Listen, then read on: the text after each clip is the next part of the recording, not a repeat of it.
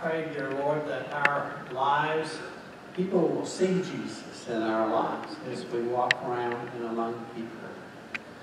And um, we thank you, Lord, that even right now we have a place that we can come and gather in your name.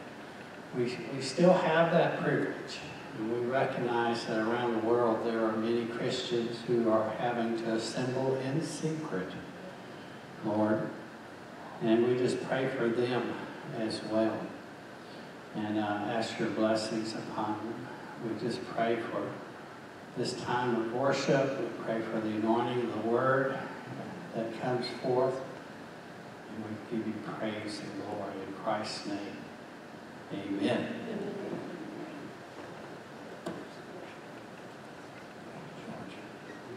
Well, we are small in number today because I guess we didn't get the message. Everybody was leaving to go to the beach or somewhere, mountains or wherever. This may be the largest uh, exodus we've had for a Sunday in a long while. But school is out and vacations are starting. But we're glad you're here. And I'm, I'm feeling it because the people that are going are our worship people.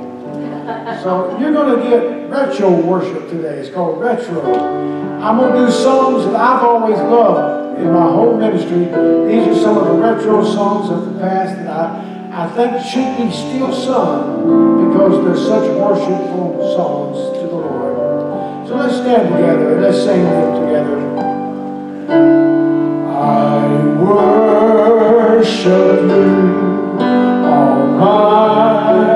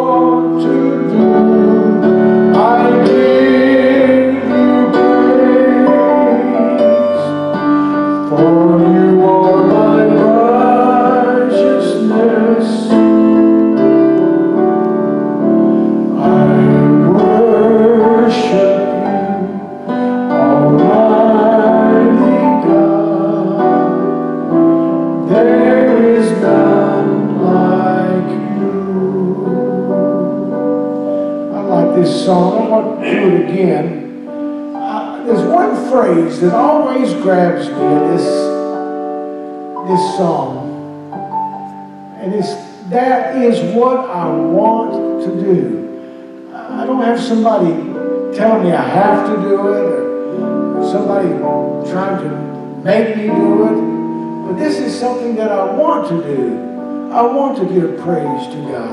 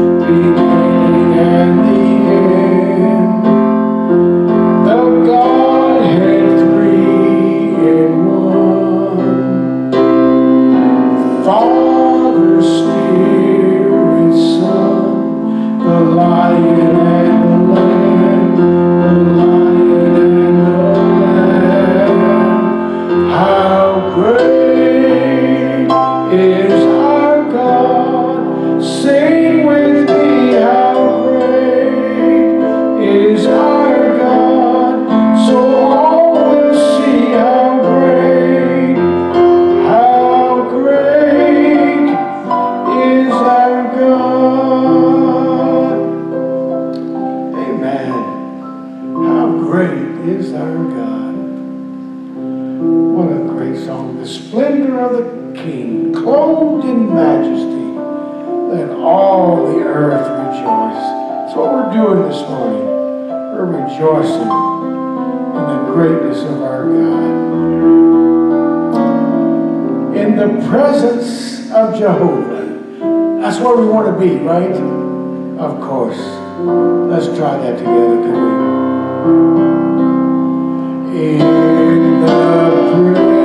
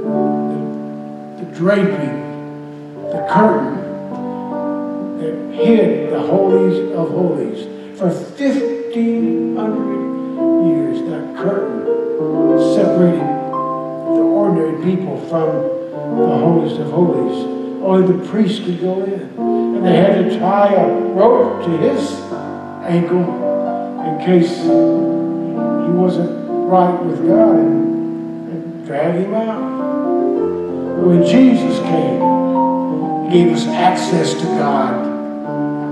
God is no longer unapproachable, but Jesus on the cross when his flesh was ripped, the temple, and there's a curtain in the temple from top to bottom, gave us access once to God because of Christ.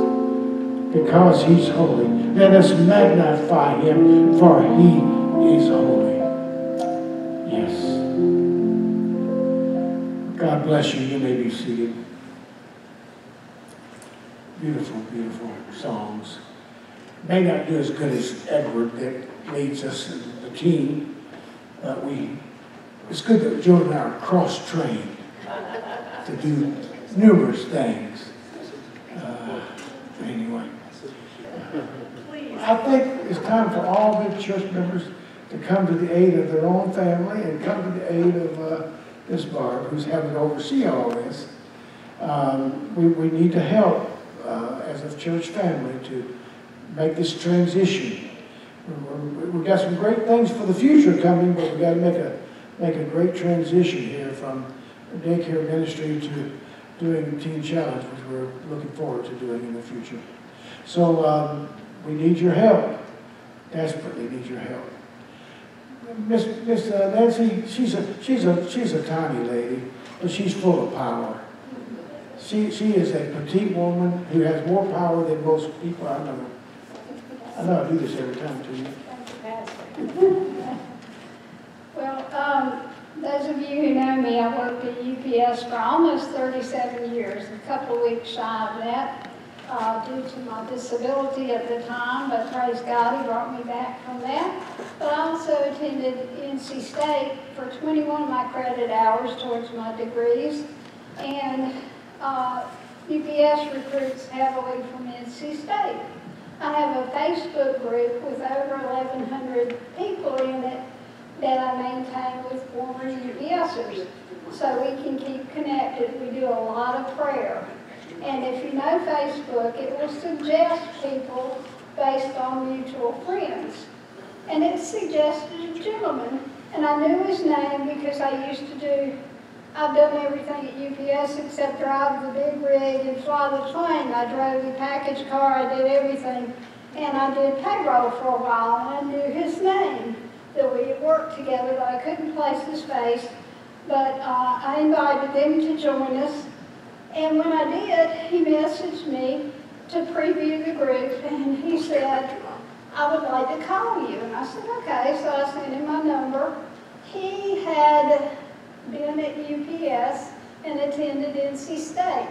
And back, this is 20-some, 25 years ago, someone from Chi Alpha or one of your groups there gave him a Bible.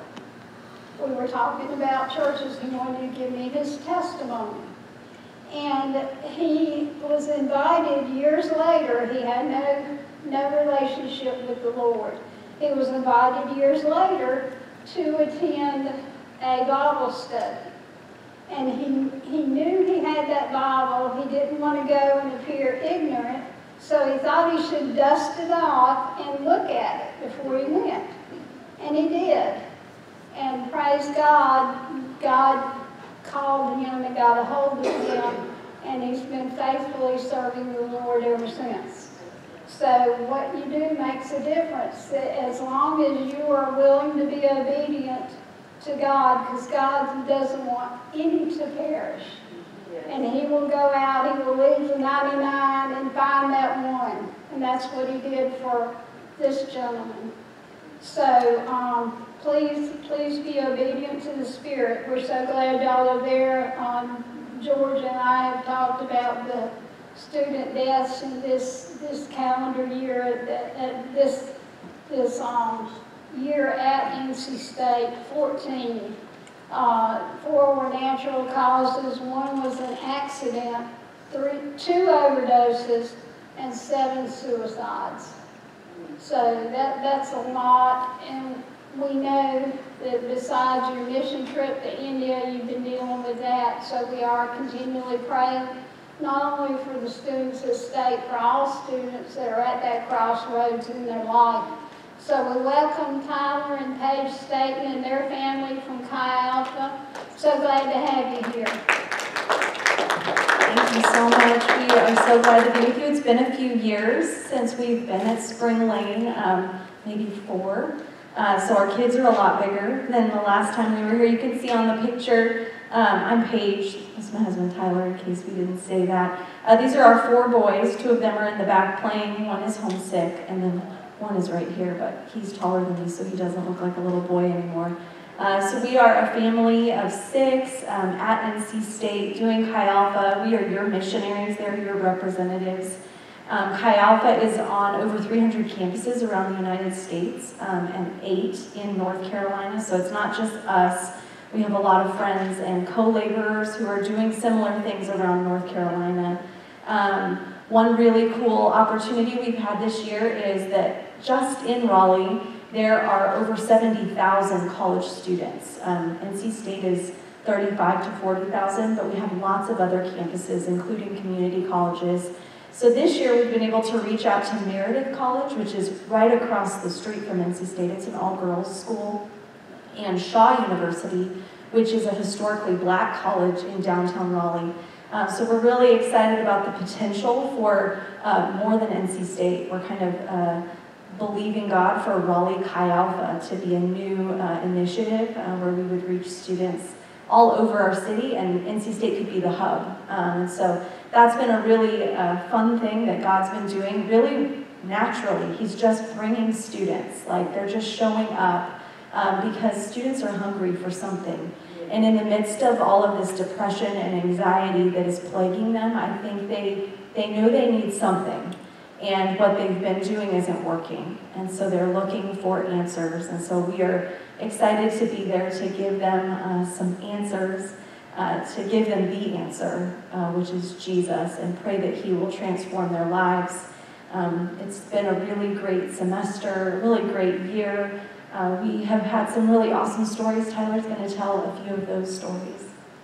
Awesome. If you want to go to that next slide, uh, I want to make sure you see some of the campuses that, that Chi Alpha is on.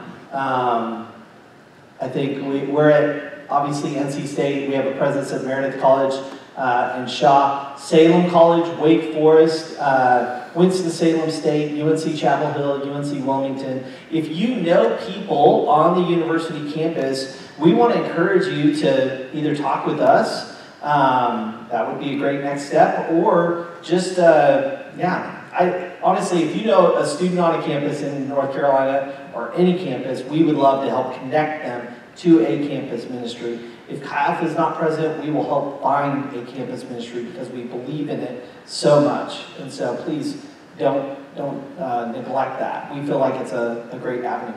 And then if you go to the next slide, um, I just want to share a couple of, of awesome things that God is doing. One of the things, if you don't know what Chi Alpha does, we basically exist to be an outreach extension arm of the Assemblies of God to the college campus. Uh, and we do a weekly service on the campus Tuesday nights at NC State. Uh, we gather in the student union. Uh, the university allows us to do that. We are just we are going to take advantage of that, and we pray for students. We speak boldly about uh, Christ and uh, preach from Scripture. And so, one of the things is we were we were sharing um, during worship time. I really felt like God was just reminding me that his kingdom has come, yes, through Christ. His kingdom is coming through the Holy Spirit, and his kingdom is to come. But he has given us a glimpse of what will be one day up in heaven, right? And he's brought that to this earth, and we have a chance to be a light to the people around us, to give them a glimpse of what one day will be, right? And I think that, that on the campus, it's such a thing that is needed. And so through Chi Alpha, we do this weekly service. But even greater than that, we do small groups. We call them life groups, and we have multiple that meet throughout the week. Every weeknight uh, is a life group that is meeting. These are led by student leaders. In fact, uh, in this bottom left picture, you can see a massive group of people. Uh, we went to a ice arena and played something called broom ball. Uh, this is, we had international students come out that came and played that we connected with, and our life group leaders have been trained to then pull these students into their groups where they say, "Come and look at the Bible with us. Come and see," just like Jesus would have done with his disciples. We want to do that same model. Pull people in and say, hey, you know what? Your life exists more than you getting a degree. Your life is beyond you just uh, getting an A, right? Like, is there's so much more that God wants for your life. And so they bring them in, they share scripture, and their lives are being transformed. You can see that, that in that top uh, picture it says SICM. That stands for Student Institute of Campus Ministry. This is where we go and we train our student leaders uh, at the beach. We just got back uh, from Topsail and uh, trained these student leaders. We had 15 students go, and four of us staff went from NC State. We invested into their lives. Lives were just radically changed. We're seeing new leaders rise up once again, and uh, praise God. Like I always wonder every year, I'm like, God, do you have somebody new? And then he does it again. He is so faithful. I know we talked about God being faithful in finances, but he's also faithful in people. And so we have seen this to be true over and over. Um, our leaders are, they have a heart for the campus. They want to reach their friends. They want to make an impact as we talk about the suicides and the, the depression and the anxiety that's happening on the campus. Coming out of COVID, a lot of these individuals have been in isolation and they don't know what it looks like even to make a friend.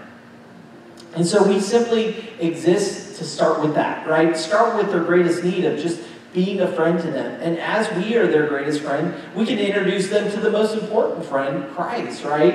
And so we are so excited to be able to be at NC State and know that we are know we know that God is doing this great work on that campus. Paige is going to share a couple of specific stories. Uh, do I have, I have one more slide actually.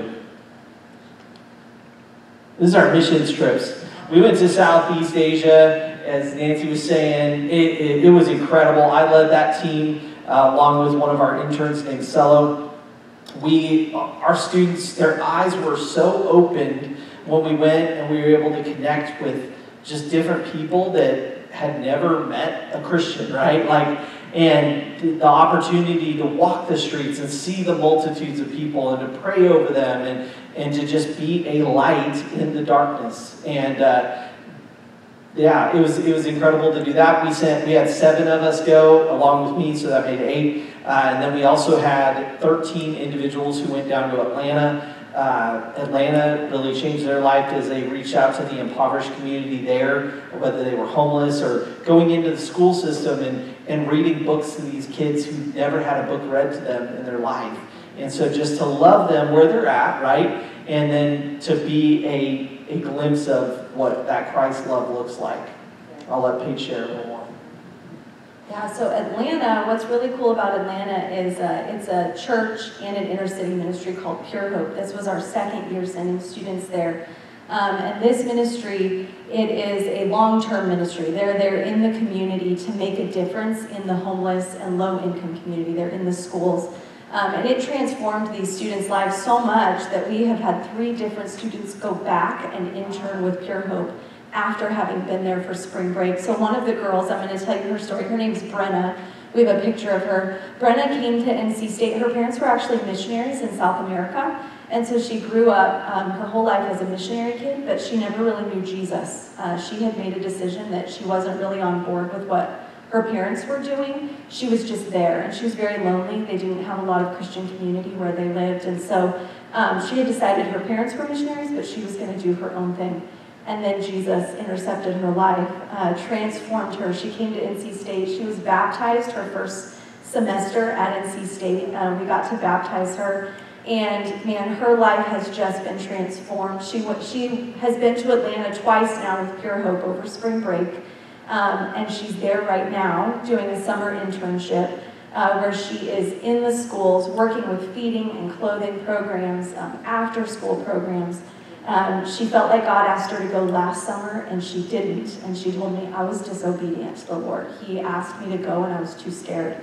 So this summer she said, I'm going to go and I'm going to, it might be delayed, but I'm going to be obedient to what God has asked me to do. So she's there now for the whole summer. Um, and then she's an RA at NC State, and so her heart is to reach the girls on her hall this year, uh, to really be intentional with her evangelism as an RA. She has access to students, and so um, it's been really cool to watch what God has done with a hard heart who said, No, I don't want Jesus, to be transformed to a missionary who wants to reach the girls on her hall. Uh, with the message of Jesus. And so Brenna's just one of many students who we are just amazed at what God is doing in her life. We see uh, big dreams in her heart. She's praying about what, what God would have her do long term after she graduates. Um, we have a little bit longer with her, thankfully. It goes really fast. We get them, they get in, and then they leave us, and we send them out. And so that's one of the really hard parts of campus ministry is we, we say goodbye, right? And uh, let them go and do what God's asked them to do. Um, which last night we actually got to be at a wedding where we got to see all a bunch of our alumni that we have sent out um, all back together. And so Tyler's going to talk a little bit about that. In one of our anthem verses for Chi Alpha is 2 Corinthians 5.20 and says, we are therefore Christ's ambassadors. And then it goes on to talk about how we're reconciling people under Christ. And so that is one of our visions, but it's not just to do that at NC State, but it's to send them out, like Paige said. And it, on this slide, you can see that, that we had this beautiful wedding of this couple that Paige and I had the chance to officiate yesterday. And uh, they were in our Chi Alpha ministry. They just had been so impacted, they're like, we want you to do our wedding. And so as we did this, It was a great joy, and with sadness, we're now saying goodbye, but we're sending them out because it's also a great thing. So they'll be moving to Kentucky, and uh, one of the coolest things is one of our international students who is not a believer, who uh, actually grew up in Indonesia. He is going to be at the same university campus area, and they're going to be able to walk with this couple. And so God, He knows, right? He knows how to move in people's lives, and He strategically is bringing people unto Him and moving them to the same city with relationships that He knows will have impact in their lives. But also, as you look across these people, there's about 25 of us standing in this wedding picture that are all connected with Chi Alpha in some way. And that is just incredible. Over the years, there was one girl who came from Virginia Tech, was a part of our internship, poured into one of our other girls who's now studying to become an army chaplain. Uh, and that girl poured into the bride of this ministry. And like, there's just things that are happening. And that bride poured into others who are now staying at NC State for this next year. And so there's this lineage that continues to move on and on, and disciples are making disciples who are making disciples. And uh, that's how we know if we're being effective, is if we have that long-term ministry that's happening. When, if we cease to do that, then it's hard for us to say that we're making disciples, right? And so we are seeing God move. You have had a hand in this. I want you to know that, that your gift of sending us to NC State is making it so we can do this. And so we just say thank you. Um, we are beyond blessed to have you sending us. We are right where we want to be. We have no intention to leave NC State. We love it there. We feel like God is just radically moving, and we just have such a heart for the campus. If you go to the next slide, it just has a couple of prayer points on it um, that you could be praying for us. Uh, one of the things we're doing, we just finished up our first term at NC State and signed on for another. If you would be praying for us as we continue our support raising, uh, we had some individuals in our team that have passed away and uh, during COVID hit hard times. And so just, just pray for us as we raise that budget. Um, and then future vision, as Paige talked about us reaching Shaw, reaching Meredith, and doing something greater in the Raleigh area, we want to have an impact and presence on those campuses as well. They need Christ, and uh, we can feel it. And then the other one, we are praying for staff and interns. We have two interns, or three, sorry, interns coming, two from uh, Georgia area and one from Illinois, and they I believe that God's going to use them in some radical ways this next year. Pray that we would invest well into them and that God, we would leave them open handed and let them go wherever God wants them to, to go. If it's our staff, they would stay there, that'd be great. If it's to move on and do ministries elsewhere so that God can, can be seen there, we want that to happen. But would you pray that we would have an increase in our staff teams? Because at, on the campus, we have a great vision, but we can only do so much. Uh, we, we don't want to neglect our kids. We want to make sure that we do all we can at NC State. We don't spread ourselves too thin. And in order to do that, we need more individuals to say yes to the call. So be praying for that. Thank you so much, Pastor David and church. We are thankful to have Spring Lane Assembly on our team, and uh, you have blessed us tremendously. Outstanding. Outstanding. How much, how many enjoyed that? Yes.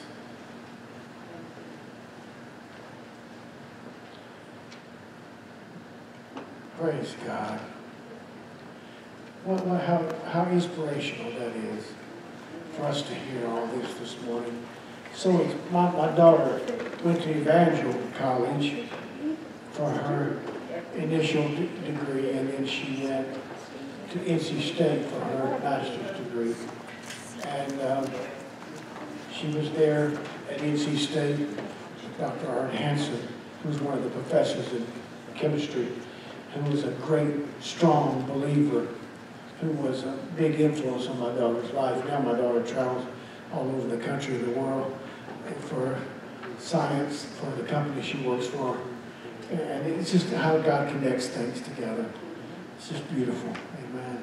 It's great. Well, we're glad that you were with us today as we continue with our service. When we were planning to have the meeting we had Wednesday night to take the vote on whether or not we were going to partnership, further with uh, making decisions concerning Teen Challenge. The Lord really dropped these words into my spirit. I didn't read them anywhere. I just felt like He dropped them right into me before the meeting we had Wednesday night. And that was the words, eyes to see, faith to believe, courage to do. And so I took those words and I mentioned them Wednesday night, but I've developed the message for today from those words.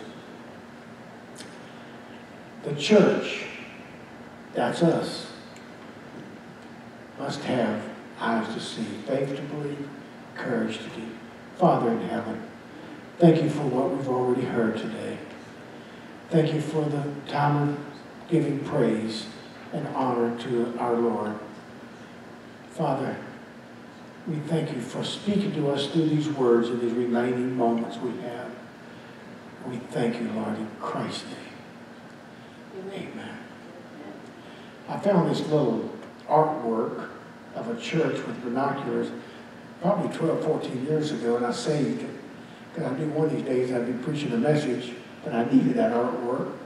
And lo and behold, I was able, in my office, which has thousands and thousands of pieces of paper and notes, no question about it, but I was able to find that little clip that I saved for today to illustrate the church, that's us, needs to have eyes to see. It's amazing how we can separate ourselves from the church. We can, we, we, think the church is there and we're here, but the truth is, we're the church. Have you ever heard somebody say, I think the church ought to be doing this. I think the church ought to be doing that. Well, you're the church. Start doing it. The church is us. Amen. It's us. We can think all these things what the church ought to be doing. And uh, one church I heard, when someone said the church ought to be doing something, you're appointed. Take over. Do it. You're the church. That's us. I had that added. I had to add that. The church, that's us. Eyes to see, vision. Faith to believe, the impossible. Courage to do, bold things, fearless things. That's what the church is called to do. And it all starts with it all starts with eyes to see. You got to see stuff first. Before you can even have faith to believe, before you can have the courage to do, you got to see it. And that's a lot of what we're talking about this morning. Where there is no vision, the people perish, Proverbs 29 18. If you don't have a vision, if you, if you don't have an ongoing revelation, you got to be able to see, eyes to see. And in John 4 35b, lift up your eyes and see. Open your eyes and see that the fields are white for the harvest. I know our, our friends this morning know this very well because that's part of their calling. The fields are white for harvest. The harvest is a common biblical theme associated with the kingdom of God. And I gave you a bunch of references we won't go to, but those references speak of the, the theme of the harvest. When the fields are white, that means they're ready to be harvested. I've traveled in the countryside in different parts of the different states, and I've seen during the harvest time, I've seen those fields, whether it be cotton or whether it be grain. And if, if there's a little bit of a, a knoll, a little bit of a hill on those lands that have that, you can see that wave. It's almost like a wave of harvest blowing in the wind. Bright green fields looks like a sea of white. Jesus wanted his disciples to understand the urgency and the immediate opportunity of his mission. People that were hungry for the truth came to him, ready to receive salvation. He said, The time is now. Today is the day of salvation. Harvest time might be four months in the natural world, but in, in the moment for spiritual reaping, he said, The time for harvest is now. It's arrived. The disciples were focused on physical and earthly concerns like food, rest, and heaven knows whatever else we get distracted by. I said the disciples focused on physical, earthly concerns. Well, sometimes we as a church, as a church family, we can become sidetracked by focusing on things that may not even really matter that much.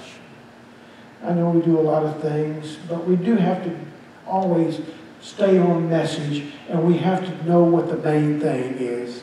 Through all of our scurrying around, through all of our things and activities that we do, we got to always come back to the main thing, and that's the harvest. That's what it's all about. It's easy for us to lose focus and start looking at the wrong thing. We need the sense of urgency that Jesus talked about to his disciples. Urgency is the theme that we need to have. Jesus saw the spiritual necessity. He was consumed with more urgent mission, winning souls for the Father's kingdom. He urged his disciples to redirect their focus so they could see the need. And I think we as a church always have to come and examine ourselves and re-examine our focus. What are we here for? Are we like the YMCA to have a good place to meet and have a social thing going on? Well, I'm, I, we love having meals together, that's quite social. But we gotta, we gotta always come back to the urgency of the purpose of God for the harvest. He urged his disciples to redirect their focus so they could see the need. Passion. When in Matthew 9, 36 through 38, when he saw the crowds, he had compassion on them. Jesus saw those crowds and had compassion because they were helpless. They were like sheep without a shepherd. And he said to the disciples, The harvest is plentiful, but the laborers, the workers, are so few, as Tyler was talking about. They need help. They need help to be able to do more. We need to pray for the Lord of the harvest, who is God. God is the Lord of the harvest, that He would send forth. And the Greek word there, in the Greek, some people translate send forth workers into the harvest. If you want to know the, the impact of the Greek used there, a better word would be thrust. Thrust forth. It's a lot stronger than just sin. Thrust is the intent of the Greek used in that passage. To thrust out workers into the harvest field. How many believe we need to pray for the God of the harvest, the Lord of the harvest, to send forth laborers? And we are those laborers ourselves here. We must keep our eyes open, seizing the opportunities that He presents. Because God chooses us to be partners with Him. Verse 36 of John 4 says, He who reaps receives wages. He who reaps receives wages. What are the wages? The wages are the souls of men. I said the wages are the souls of men. He who reaps receives wages, and he who gathers fruit unto life eternal. That means the fruit lasts forever. They both, he who sows and he who reaps, may rejoice together. And we rejoiced as the, the stories and the accounts that were given to us today of what they've experienced, those who've come to Christ, those who are now workers in the harvest. We rejoice with them today. We, we, we support them. And so we all are part of that reaping and we're part of that gathering. And we all rejoice together today for the stories that they gave us, the, the accounts of people that have come to Christ that are now laborers themselves. I mean, how cool is that? Let's talk about personal corporate blindness. Oh man, this is a church of the seven churches of, of Revelation, Laodicea. He says, Because thou sayest, I am rich and increased with goods and have need of nothing. Some people think that the church today really looks more like the Laodicea church than any of the seven of the seven churches of Revelation. Because, because they saith, I am rich and increased with goods and have need of nothing. Man, churches in America are nice. Isn't, in this church nice? I mean, it's cool in the summer and warm in the winter, and your chairs are so comfortable. I've slept on these chairs.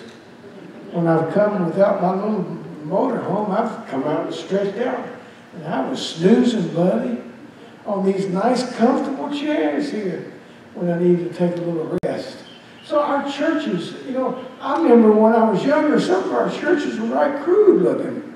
I preached in some crude churches, man, when I first started out. They were really crude. But, but some, that's why some people think we, we kind of look more like the Laodicean church because we're rich and we're increased with goods. And because of that, we sort of think we have need of nothing. But, but Jesus says, knoweth not that you're wretched. Man, you're miserable. Sometimes we are. Poor, blind, and naked. Man, what a, what a description that he gives about the Laodicean church. Then he says, I counsel you to buy from me gold refined in the fire. He's not talking about a monetary transaction. He's talking about a spiritual transaction. Amen? The gold of character comes from the fires of testing. I said the gold of character comes from the fire of testing. Can anybody say amen to that? That you may be clothed. That you may be clothed. That the shame of your nakedness may not be revealed. Then he goes to a third thing in these verses of 17 and 18. He says, Anoint your eyes with eye salve that you may see. You got to see. You have to have eyes to see. And he says that you can have sight to spiritual things. We need to open our eyes to spiritual truth. Interestingly enough, in Laodicea, in that area where the church was, there was a medical school that sold eye salve and other medicines in Laodicea. So it's picked up from that, and he says, Buy me gold, refined in the fire, that you may be clothed from your nakedness, and buy eye salve, that you can see what other people can't see, that you can see what other people don't see, where you can see the things that are invisible to others but are visible to you. What, what a powerful word that. Lord, give us spiritual eyes that we may be able to see so we can do your will. Come on, is that the prayer for us today? Give us good eyes to see. It's amazing how some people can see things and others don't. I've, I've watched and watching people.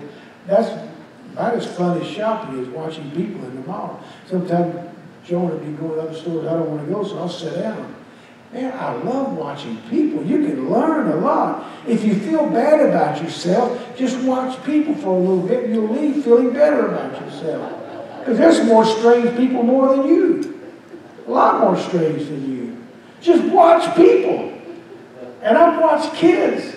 I've, I've watched out, out of the car, out at the mall, and I've seen people walk by, there's a church ground.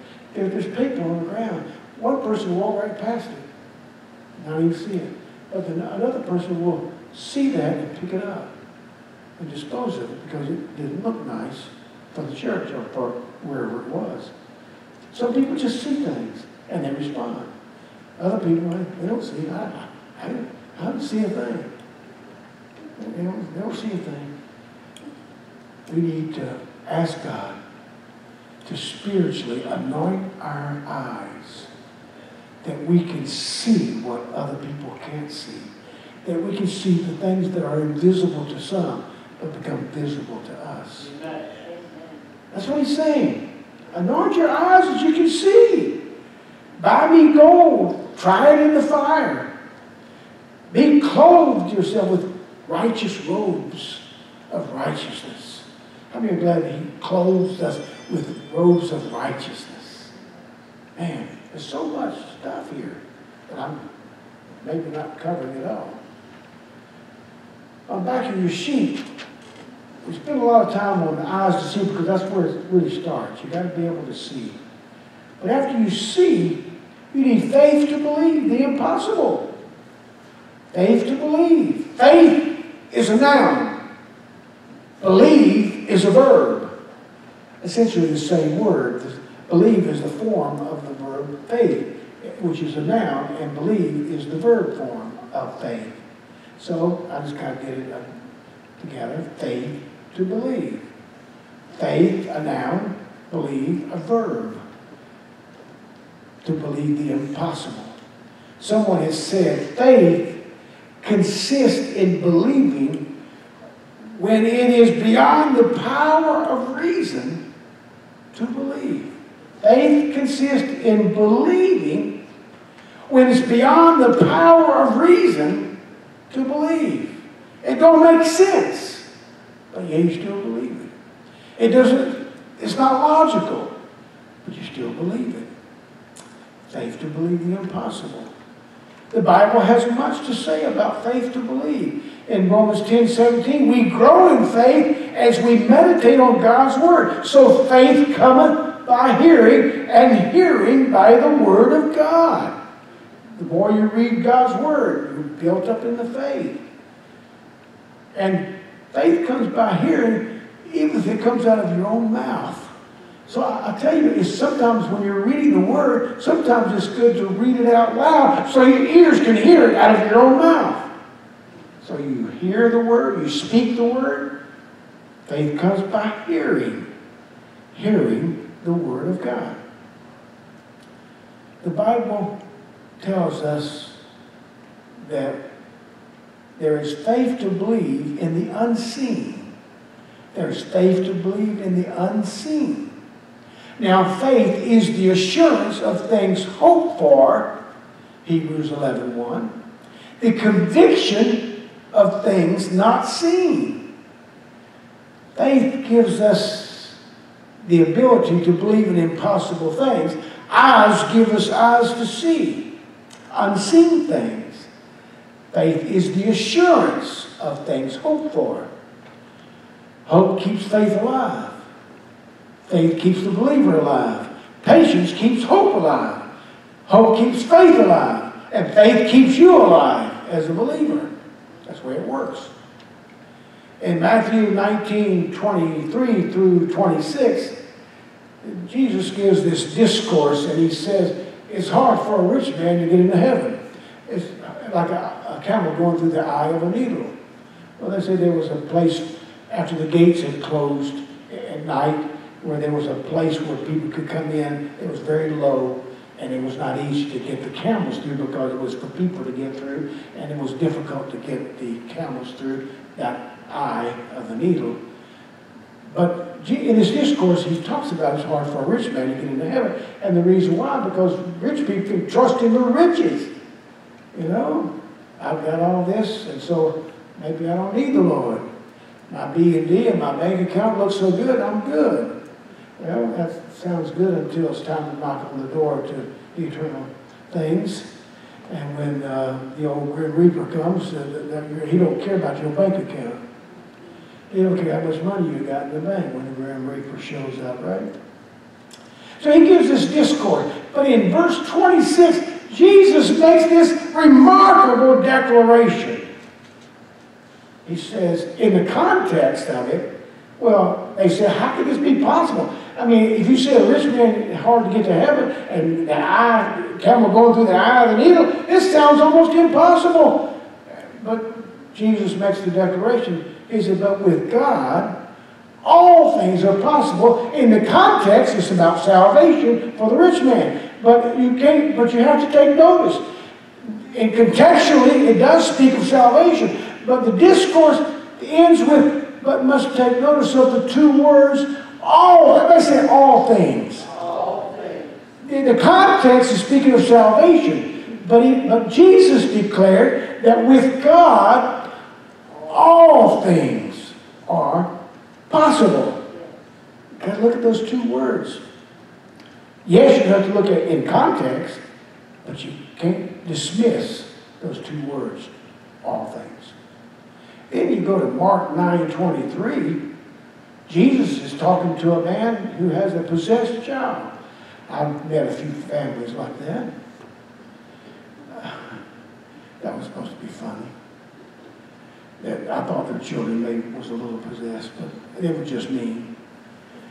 Jesus said to a father of a possessed child, If you can believe, all things are possible. There's the all things again. All things are possible to him who believes. So Matthew 19:26, Mark 9:23, both of them speak concerning the power of God, the sovereignty of God. One of them speaks of salvation, one of them speaks of deliverance of a possessed child, possession of demonic spirits. But both of them say all things. You've got to take notice of that. They speak of the sovereign power of God. And by the way, this possessed child was delivered. And everybody said, and aren't you glad? Yes, of course. So, we have to have eyes to see. And when you see, you've got to have faith to believe the impossible thing. But there's that third element that God dropped in my spirit before the meeting Wednesday night. You got to have courage to do bold things. Come on. And our church took a bold move Wednesday night, a bold move. 100% bold. I mean, where could you get a, a church together to do 100% vote? And this is before everybody left town, by the way. They did their vote, and they left town. Man, I got you got to be careful next time taking a vote. Lock the doors. Everybody takes off, goes out of town. But when can you get God's people to agree on anything 100%? That, that tells you something, God's in something going on, right? But churches have got to have eyes to see. We, we are the church. We've got to have eyes to see. We've got to have faith to believe that all things are possible. Impossible things become possible because of God to those who believe. And then, but you got to have the courage. The church, that's us, needs eyes to see, which is vision, faith to believe, impossible things. Time for the church to stand up and do bold things, fearless things for the kingdom of God. These folks every day go there to NC State to do bold things. We, we made a decision Wednesday night to do bold things. Thank God we have people that are willing to put it on the line and say we're going to do bold things for God. Be on your guard, 1 Corinthians 16, 13. Stand firm in the faith. Be courageous and be strong. Amen. Of course. And David said to Solomon, his son, be strong and courageous and do the work. Get the work done, man. You got to get the work done. Don't be afraid or discouraged, for the Lord God, my God, is with you. He will not fail or forsake you until you get the work done. You got to get the work done. People start stuff, but, but Barb needs people that'll get it done. Because we got a lot of stuff to do. I, I just like this verse of, of 28 of 20 of Chronicles. He says, Be strong, courageous, and do the work. I like that. Don't, do not be afraid or discouraged, for the Lord God is with you. He will not fail or forsake you until all the work For the service of the temple of the Lord is finished. Come on. How many believes you got to finish what you start? Yeah, you got to finish what you start. You got to do it. Therefore, my dear brothers and sisters, stand firm.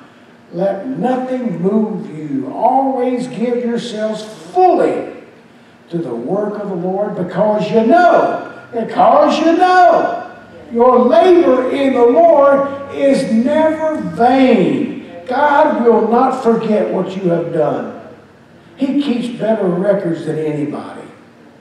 He knows what you do, and it's never vain. And God will honor that.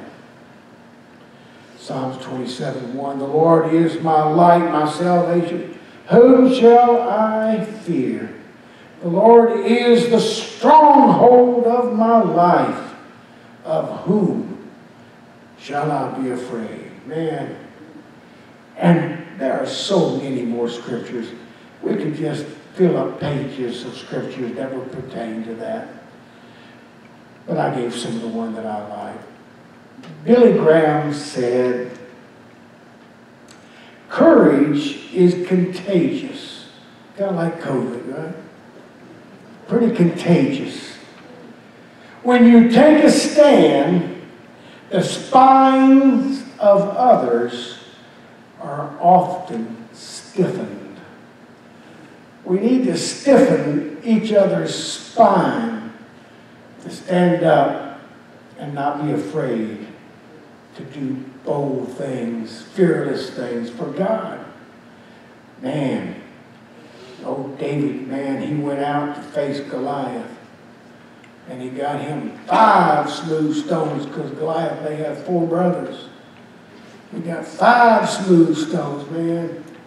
And he stood before that giant. He was a giant of a man with a spear that weighed so much weight.